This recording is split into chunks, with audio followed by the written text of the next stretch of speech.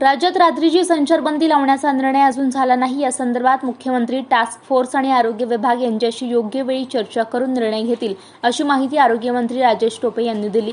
ते जालन्यात बोलत होते केंद्राने केरळ महाराष्ट्रात रात्रीची संचारबंदी लावावी अशी शिफारस केलेली आहे. मात्र मुख्यमंत्री याबाबत निर्णय घेतील असं टोपे यांनी सांगितले. पाहूयात. जे काही निर्णय घेतले जातात ते डिझास्टर मॅनेजमेंट ॲक्टच्या माध्यमातून माननीय मुख्यमंत्र्यांच्या स्तरावर सगळ्या गोष्टींचे निर्णय घेतले जातात.